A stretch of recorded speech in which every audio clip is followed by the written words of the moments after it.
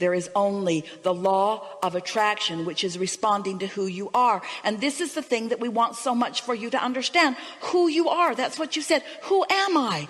Who am I? You're a source energy being in a physical time space reality with a vibrational part of you that is so huge and calling you. That's who you are. You are liquid love. And when you are not loving then you're off of who you are you are happy. And when you're not happy then you're off of who you are. You're easy. And when you're not easy you're off of who you are. You can tell by the way you feel. Warmer warmer warmer. Colder colder colder. That's all it is